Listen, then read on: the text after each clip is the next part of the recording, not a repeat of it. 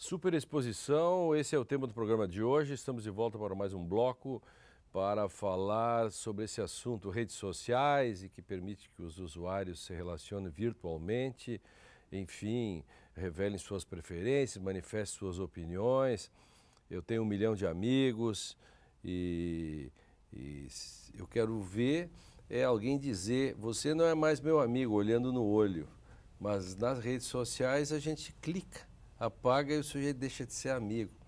Quer dizer, a palavra amigo também não quer dizer absolutamente nada. Né? Criou-se um novo imaginário, um novo modo de olhar o mundo. Abel, é, é, é, você falava para nós em off sobre. tienes um hijo de cinco anos?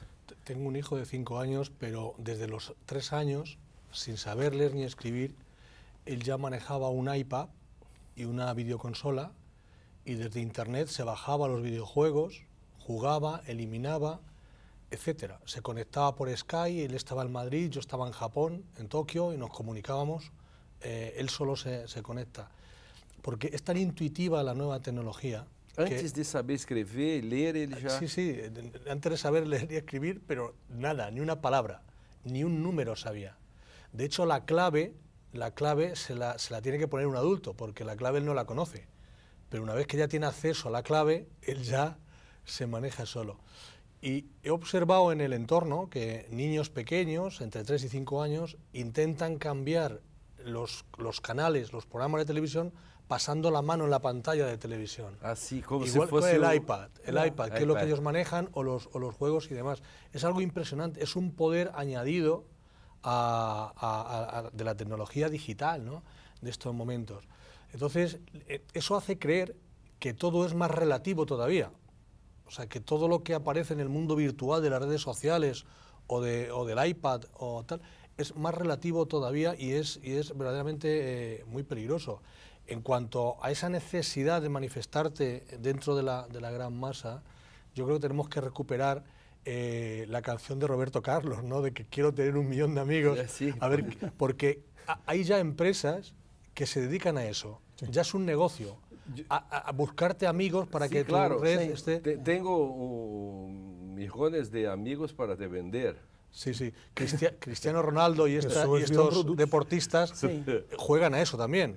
Saber si su cuenta en Twitter tiene no sé cuántos millones, a ver quién tiene más del mundo. O sea, todos son récord, todos son. Vivimos en, el, en los tiempos de los récords y, de la, y del mundo. Pero yo quería, quería decir una cuestión que para mí es muy importante, porque eh, no quiero entrar en este desánimo, en, en, este, en esta fase pesimista previa al suicidio. Es decir, nosotros sí. estamos analizando, criticando los riesgos de las nuevas tecnologías, pero hay que recordar que las tecnologías en todos los tiempos de la evolución de la humanidad han sido nuevas y han sido útiles. Es decir, se trata de hacer un uso responsable de las nuevas tecnologías y advertir sobre los riesgos que tiene eso para la libertad y los derechos fundamentales de las, de las personas, pero que las nuevas tecnologías bienvenidas sean y que sean bien utilizadas. Claro, perfeito. Mário. É, mas é, acho que há um fenômeno novo é, que a gente pega alguns, alguns detalhes né, que são importantes. É, o novo é que essa criança, seu filho e tantos outros, todos, estão se formando numa nova estrutura psíquica. É uma outra cabeça, é uma outra forma de relação com o mundo. Ou seja, há uma mudança no fundamental que é a estrutura do espaço e do tempo. Né? É, quais os riscos? Bem, não sabemos muito bem, mas a, a, a interação com o outro é, fora do mundo virtual é, tem uma diferença. Qual seria a diferença? Que no mundo virtual, praticamente a dimensão de que existam impossibilidades hum. desaparece. Tudo é possível. Ou seja, se constitui um universo que para o sujeito ele o, o vive tá. como se não houvesse limite. Para nada há limite. Veja, é, é, como é que nós é, regulamos quando o outro nos incomoda? Né? No mundo virtual, um clique, né? Um clique. Você ah, não é mais meu sim. amigo. Ou seja, o ódio não tem lugar para ele poder ser trabalhado. Né? O ódio, que é uma coisa tão difícil, né? É, com, por que surge o ódio? Quando o outro me, me impõe uma restrição. Pode ser pela sua presença, pode ser pelo, pelo, pela bolacha, pela, pela, pelo, a bolacha que ele está comendo, que faz esse barulho horrível. Né? Isso. Veja. É, então, essa, essa nova é, estrutura psíquica, ela está fazendo a economia dos impossíveis que o convívio com o outro nos impõe. Né? Comple completamente de acuerdo. Y solo añadir una cuestión que creo relevante. ¿No os parece que las últimas décadas hemos sustituido las relaciones afectivas humanas, hemos buscado sustitutos como tener un perro? En lugar de un hijo, un perro. Sí. Y ahora, en lugar de un perro, un iPad. Sí. O sea, eso es un poco lo E que em lugar marca- do iPad, Sí, pues No- no, no sabemos. no se Bueno, sabe. Ahora ya los teléfonos, yo recuerdo cuando se decía, al menos en España, hace 15 años, va a llegar un momento donde por un teléfono o un reloj te vas a poder hablar y ver la cara cuando hablas. já existe. Ya existe eso. Sí, sí. Claro. Es decir, yo creo que la, la tecnología está mucho más avanzada de lo que se está comercializando incluso, ¿no? Sí, Sí. Pero so- son formas de dominación. Já há de- de- outras sí. coisas mais avançadas. Victor, e o direito? É, Deixa eu aproveitar para dizer uma coisa. Quando, Tá. quando os iPads ou os aparatos começarem a ter nomes próprios, aí eu vou ficar bastante preocupado, né? É. Pega ali o Paulo, pega ali o André, Ah, como ele nomeia, Ah, aí, sim. aí fica ainda sim, mais porque o- é, os cachorros ainda têm nome. Ainda tem nome. né? As crianças subs- têm nome, substituídos por um cão que tem nome. O iPad ainda não tem nome. nome, mas- pega ali o Paulo, pega Isso. ali o André, É, aí eu vou ficar é, preocupado. pega o Victor. Pega o Victor. Victor. Exato.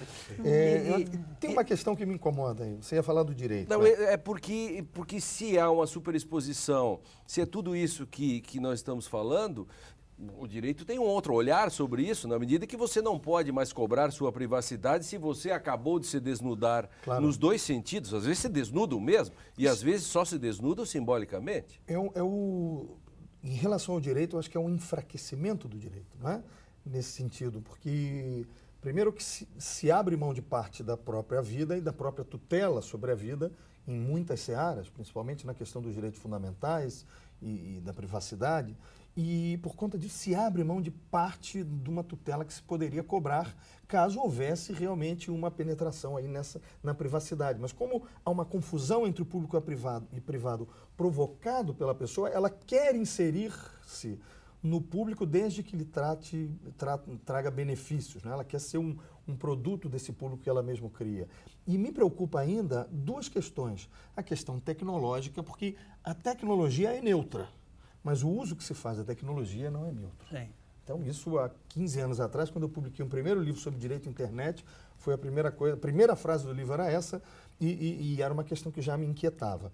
E, e outra questão é o tema da linguagem. A linguagem e o modo de se comunicar tem modificado com os aplicativos, com o modo com que você lida e fala com o outro. Essa questão psicanalítica, a questão da barra, e você começar a tratar o outro por WhatsApp, por mensagens e falar coisas que aquela forma é melhor de se comunicar do que, do que você falar no telefone. Outro dia eu vi uma frase sensacional. Em tempos de redes sociais, um telefonema é uma declaração de amor. Né? É ótimo e, essa. E, e não é minha, é de alguém, mas enfim, pode ter sido Sim, repetida sim. por aí. Deve ter sido por, por aplicativo, não foi por um telefonema. Então, isso é o que tem me preocupado. O poder que a linguagem vai construir nessas novas formas de, de se comunicar, mas que eu acho que vai ser muito difícil, vai ser complicado compreender, porque se a gente, com a nossa linguagem mais complexa, tem dificuldades, a mensagem telegráfica que está vindo eh, tem me preocupado. E a gente se vicia nisso, se deixar. O, o, o Mário, em cima do que o Abel trazia, é, é, é, e da discussão que o Vitor está dizendo agora, é, tradicionalmente pode-se dizer assim na psicanálise né, que a linguagem surge na falta, enfim, essas coisas.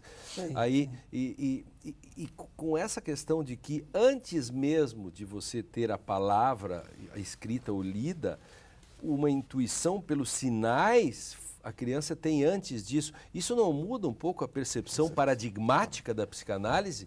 Ou pelo menos tem que ser estudado É que no a- futuro? Para a psicanálise, é, o que interessa é, bem, é, como esse sujeito novo vai se haver com isso. que tipo de, de, de paradoxos, que tipo de, de conflitos vai surgir, e vai surgir dentro dessas novas tecnologias. Né? E, e já, já se, se percebe, é, uma é a, a, a, dificuldade de lidar com o ódio. Né? Isso, isso é uma coisa crescente. Né? Então, a, o, o nível de explosão da violência no mundo globalizado, né, da violência próxima, eh, deve ter relação com isso. Tá. Bom, o segundo ponto, e que, e que é uma coisa que no, no, no caso do, do, do, livro de cabeceira, que é entre o erótico e o escrito, o escrito e o erótico, é, há uma frase muito interessante, porque é, o personagem diz, é, é diz bem, é, escrever é uma coisa comum, mas, se não tivéssemos a escrita, que depressões sofreríamos? Quantas depressões sofreríamos? Então, veja, uh, o que assistimos hoje é um nível exorbitante que está relacionado com a soledade, com a solidão, que, que são as formas de depressão. Né? Quer dizer, quando, quando a consistência do outro se vai, dizer, o outro é igual a um objeto que num clique eu o dispenso, né?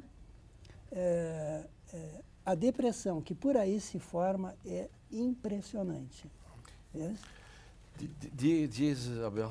Sí, es, que, es que efectivamente se pierden los referentes reales. Sí. Las, las, referencias reales y se sustituye por los virtuales. Sí. Pero Víctor decía el, el, tema del lenguaje. Yo tengo aquí un, otro libro que había traído de Pedro Salinas. Claro, muestre. Poeta, poeta español muy importante, que fue profesor en Boston, en Puerto Rico, en el exilio. Este libro, El Defensor, son cinco ensayos también, y uno de ellos habla de la fuerza del lenguaje. Y pone un ejemplo que es escalofriante, y es como el lenguaje de la palabra, pero hoy día podemos hablar del lenguaje visual, del lenguaje eh, de, signos, de todos los iconos que ha creado las nuevas tecnologías, etcétera. Es un lenguaje nuevo en, ese sentido, es una forma de comunicarse. Ponía un ejemplo que era eh, cómo el nacionalsocialismo de los años 30 en Alemania acuñó un eslogan político que se, que se llamaba el nuevo orden. Y dice Pedro Salinas, nadie se puede resistir a eso, porque es el efecto sugestivo del lenguaje, sea palabras, o sea, tal. Dice, el que está bien pretende que con el nuevo orden va a mejorar y el que está mal, por supuesto que va a mejorar ante el nuevo orden. Es decir, este, el tema de los conceptos es la primera batalla que nos han ganado eh, las empresas tecnológicas, porque ya no se habla de acceder a la cultura, se habla de acceder al conocimiento, a la información, que son tres derechos eh, distintos.